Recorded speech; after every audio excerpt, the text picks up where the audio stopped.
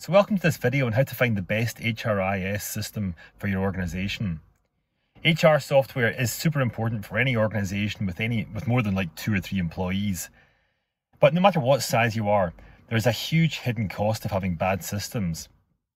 If you're interested in this content, we focus on how to help organizations make fast changes that are measured in days and weeks, not months and years. So subscribe here for more content like this. But the hidden cost of bad systems hits every part of your organization. We're going to just look at three examples here around retention, actually doing the wrong work, and the importance of having clear results. So, bad systems are, you know, anything that hits, you know, your organization. In fact, it hits probably every part of your organization if you get bad systems. You know, anything that relies on a spreadsheet is a bad signal. Anything that is difficult to use is going to stop people using it anything that just makes your organization a difficult place to work is mean is going to mean that people are going to not do the work that is difficult. So if your HR systems are old or manual or paper based or difficult to access, then they're not going to do the HR activities that you know are key. So again, anything that's going to prevent you from getting your results, whether it's people distracted by too much manual work or too much kind of difficult systems, that's going to prevent them from doing the work that is really you know what they're there and you know passionate about doing what they're there to be paid for and what's actually going to help drive your results. So bad systems have impact on every single facet of the organization. They take away time and also they they, eh, they damage morale as well. So just with retention as an example as i said in the eh, last video you know you know retention starts right from their first interaction of a, of a potential employee with your organization if you've got smooth systems, everything's easy to use, the interface is great and modern, then it's a great signal.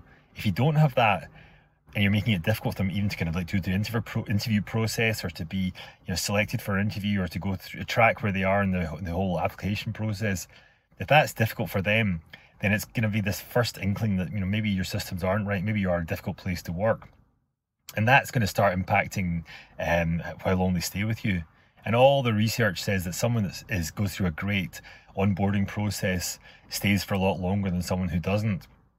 So not being an easy place to work. But also, you know, without the right HR systems, you can't spot or predict issues.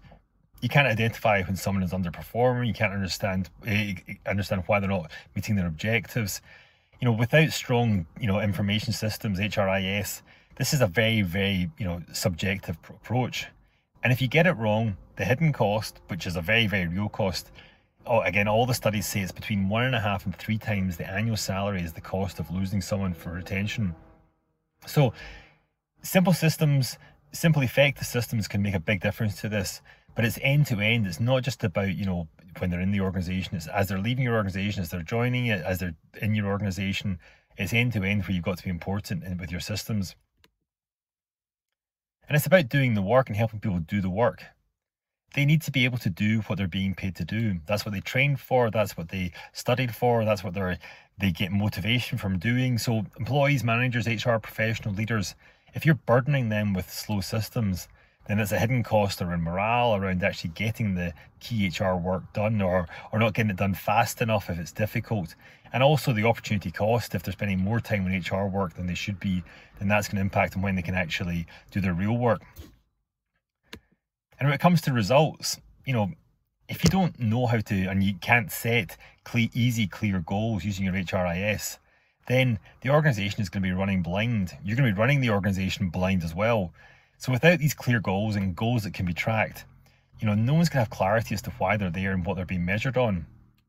And every successful organization has 100% clarity on what the role of every single person is within that organization. And that, you know, mounts up into being something that, you know, the, the organization, the drive towards the organization's overall goals. But it's also something that can be tracked and measured and monitored, not after the effect, but along the way as you're as you're moving towards your weekly, monthly, or annual goals.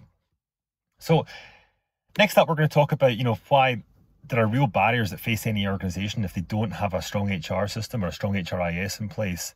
Um, if you get any questions at all, just reach out to me directly below, and there'll be links as well around this that you can get more information on.